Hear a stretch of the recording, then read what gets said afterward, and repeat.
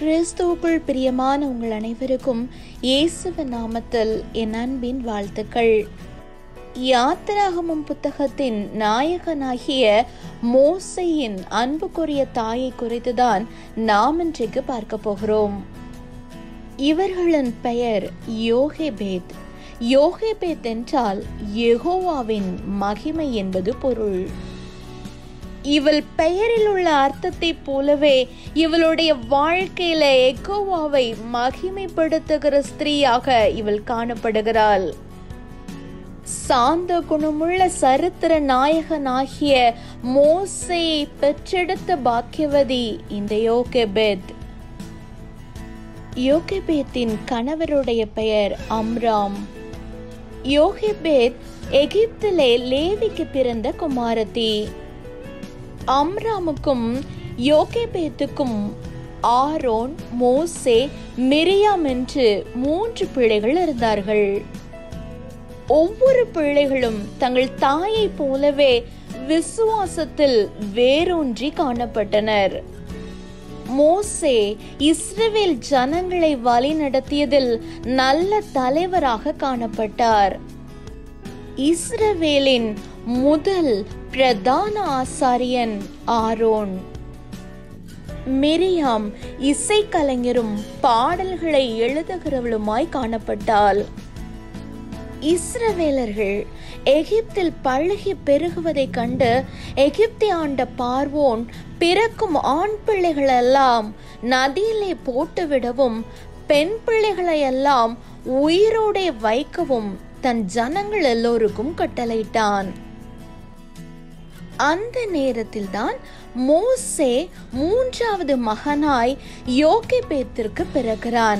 இவன் பிறந்த உடனே அந்த தாய்க்கு குழந்தை பிறந்த சந்தோஷத்தை காட்டலும் பார்வோனின் சட்டம் மிகுந்த அச்சத்தை கொண்டு வந்திருக்கும். நிச்சயமாய் யோகேபேத் கலங்கியிருப்பாள். அந்த குழந்தையை மூன்று மாதம் ஒழித்து வைத்து பாதுகாக்கிறாள். அவள் பாதுகாத்த ஒவ்வொரு நாட்களையும் நினைத்து பாருங்கள். எத்தனை கலக்கமும் அச்சமும் அவளை ஆட்கொண்டிருக்கும்.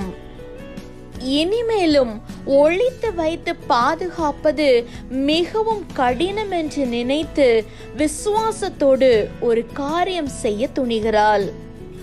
ஒரு நாணல் பெட்டியில் மிகவும் பத்திரமாக குழந்தையை வைத்து நதியிலே விட்டுவிடுகிறாள்.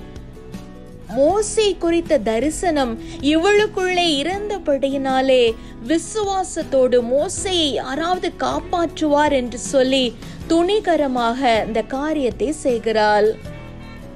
கர்த்தரை முழுமையாக நம்பி முதலைகள் நிறைந்த அந்த நதியில் தன் குழந்தையை டானல் பெட்டியில் வைத்து விடுகிறாள் யோகேபேத். அப்பொழுது பார்வோனுடைய குமாரத்தி நதியிலே குளிக்க வருகிறாள். அவளோடு வந்த அவளுடைய பணிப்பெண்கள் நதியோரத்தில் உலாவிக் கொண்டிருந்தார்கள். அவள் நாணலுக்குள்ளே இருக்கிற பெட்டியை கண்டு தன் பணிப்பெண்ணை அனுப்பி அதை கொண்டு வரும்படி செய்கிறாள். அவள் அதை திறந்த போது ஒரு அழகான ஒரு குழந்தையை பார்க்கிறாள். அந்த குழந்தை அழுது கொண்டிருக்கிறது. அந்த குழந்தையின் மீது இரக்கம் பாராட்டுகிறாள். எபிரேய பிள்ளைகளில் ஒன்றுதான் இது என்று கண்டு கொண்ட பொழுது கூட அவள் அதன் மேல் கோபம் கொள்ளாமல் இரக்கம் பாராட்டுகிறாள். அதற்கு மிக முக்கிய காரணம் தேவனுடைய திட்டமும் கிருபையுமே. இந்த நிகழ்வையெல்லாம் கண்ட மோசையின் சகோதரி பார்வோனுடைய குமாரத்தினிடத்தில் வந்து மிகுந்த நுண்ணறிவோடு உமக்கு இந்த பிள்ளையை வளர்க்கும்படி எப்ரேய ஸ்திரீகளில் பால் கொடுக்கிற ஒருத்தியை நான் போய் உம்மிடத்தில் அழைத்து கொண்டு வரட்டுமா? என்றாள். இந்த குழந்தையின் சகோதரி இவள்தான் என்று அவள் அறியாமல் நீ போய் அழைத்து கொண்டு வா என்றாள். இவள் போய் தன் தாயையே அழைத்து கொண்டு வருகிறாள். பார்வோனுடைய குமாரத்தை யோகப்பத்தை நோக்கி நீ இந்த பிள்ளை எடுத்து கொண்டு போய் அதை எனக்கு வளர்த்துடு. நான் உனக்கு சம்பளம் கொடுக்கிறேன் என்றாள். யோகேபேத் தேவன் மீது கொண்ட விசுவாசத்தால் தன் பிள்ளையை எடுத்து கொண்டு போய் அதை வளர்க்கிறாள். பிள்ளை பெரிதான போது அவள் அதை பார்வோனுடைய குமாரத்தினிடத்தில் கொண்டு போய் விட்டால் அவளுக்கு அவன் குமாரனானான். அவள் அவனை ஜலத்து நின்ற எடுத்தேன் என்று சொல்லி அவனுக்கு மோசே என்று பெயரிட்டாள். மோசே அழகுள்ளவர் மாத்திரமல்ல கர்த்தருடைய பார்வையில் நியாயமுள்ள நீதியுள்ள மனிதனாய் சாந்தமுள்ள மனிதனாய் காணப்பட்டார். ஒரு நல்ல தலைவனை இந்த தாயின் விசுவாசம் நமக்கு கொடுத்திருக்கிறது. இன்றைக்கு அநேக பெற்றோர்கள் தன் பிள்ளைகள் இவ்வளவாய் படித்திருக்கிறார்கள் இவ்வளவாய் சம்பாதிக்கிறார்கள் இந்த தேசத்தில் இருக்கிறார்கள் என்பதை பெருமையாக சொல்லிக் கொண்டிருக்கிறார்கள். உலக ஆஸ்திகளையும் உலக பெருமைகளையும் தன் பிள்ளைகளுக்கு கற்றுக் கொடுக்கிற பெற்றோர்கள் தேவனுடைய பொக்கிஷத்தை குறித்தும் பரலோகத்தை குறித்தும் ஊழியத்தை குறித்தும் கற்றுக் கொடுக்க மறந்து விடுகிறார்கள். மோசையை மாத்திரம் இவள் விசுவாசத்துல வளர்க்கல. கர்த்தர் கொடுத்த தன் மூன்று பிள்ளைகளையும் விசுவாச பாதையிலே வளர்க்கிறாள். இவளுடைய மூன்று பிள்ளைகளுமே கர்த்தருடைய ஊழியக்காரர்களாக இருந்தார்கள்.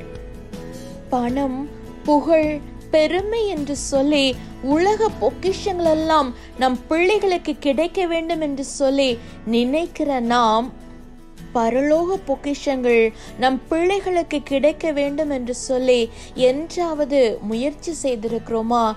அவர்களுக்காக ஜெபித்திருக்கிறோமா? யோகே பேத்தன் அன்பு விசுவாசம் தைரியம் மோசையை கொடூரமான மரணத்திலிருந்து காப்பாற்றியது. யோகபேத்தை போல உங்களுக்குள்ளும் அன்பும் விசுவாசமும் தைரியமும் இருக்கும் பொழுது உங்கள் பிள்ளைகளையும் இந்த பாவ உலகத்திலிருந்து உங்களால் காப்பாற்ற முடியும். இயேசுவின் அன்பு நம்மை நித்திய மரணத்திலிருந்து காப்பாற்றியது போல உங்கள அன்பு உங்கள் பிள்ளைகளை இந்த பாவ உலகத்திலிருந்து காப்பாற்றும். அன்புள்ள பெற்றோர்களாய் உலக பாவங்களையும் இச்சைகளையும் கண்டு பயப்படாமல் தைரியமாய் விசுவாசத்தோடு கர்த்தருடைய ஜீவ நதியில் உங்கள் பிள்ளைகளை போட்டுவிடுங்கள். கர்த்தர் சிறப்பாய் யாவற்றையும் உங்கள் பிள்ளைகளின் பாதையில் செய்து முடிப்பார். கத்த நாமும் மகிமைப்படுவதாக. ஆமேன்.